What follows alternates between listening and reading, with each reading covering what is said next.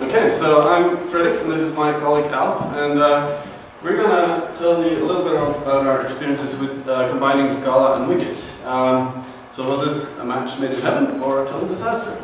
So a little background first. Um, we're in the program committee for JavaZone, which is a Java conference in Norway, and last year we were basically drowning in emails with uh, submissions. So, and there was a lot of uh, manual work uh, involved, we figured there's got to be a better way to handle this. So, we've both been learning Scala for a while, and Alf used Wicket from uh, previously, so we, we, set out to create a simple web application to handle these submissions. Um, so basically this allowed the users to uh, submit their uh, submit and review their abstracts and update them. And all of this would then be put into our existing backend system using REST. So on the one hand, we had uh, Wicket, which is a stateful component-based uh, web framework written in Java. It has a really nice uh, model view controller implementation. Uh, on the other hand, we have Scala, which is a more um, encourages functional uh, approach using immutable objects and such. And of course, we have all these first-class functions and traits and mixes and things like that. So, how do these uh, mix basically? How do they work together?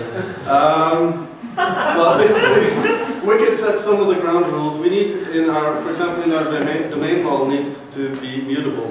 Uh, but of course, Scala can do this as well. You, you don't have to do immutable objects. So, using this, we would expect to get really clean and concise, um, maintainable code that's easy to read. Uh, and also, we have access to a lot of powerful high-level abstractions through Scala. So, you would expect really happy developers, right? But, well, in reality, this sometimes happens. Uh, we ran into a couple of issues along the way that uh, made it a little harder to a little bit more frustrating. So, Alf? Sure. So the first thing is that uh, Wicket uses uh, Java collections, of course, mainly lists. Now, uh, when programming Scala, you really want to use Scala collections. Uh, this is because of the functional goodness of uh, that Scala collections provide. So there's actually a really simple solution to this. Uh, now you define one implicit that you import wherever you need it. Now, the implicit will convert your Scala list to a Java list without any trace in your code well, except for the import place.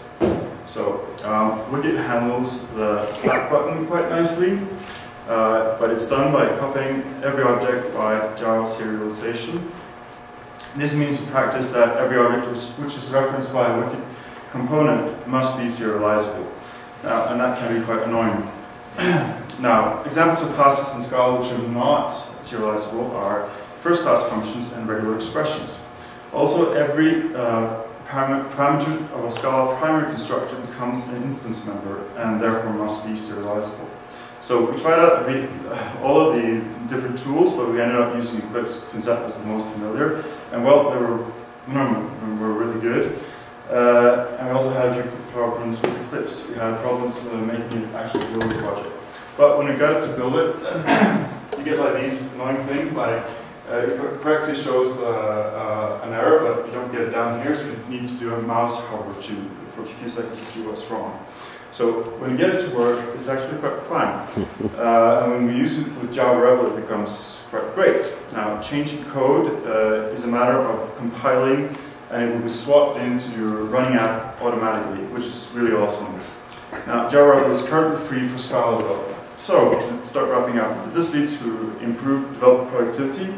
Well, sometimes yes, and sometimes no. Overall, perhaps a little worse productivity than how written it in Java. Uh, so, did it lead to improved code quality? Uh, apart from not always being able to write the code that we wanted, for instance, because of the back button issue, uh, I would definitely say yes. In our opinion, the code is a lot more concise, and we had relatively few bugs. So, we believe that both Scala and Wicket are two very nice technologies, uh, but together does do the two make a wrong in this case?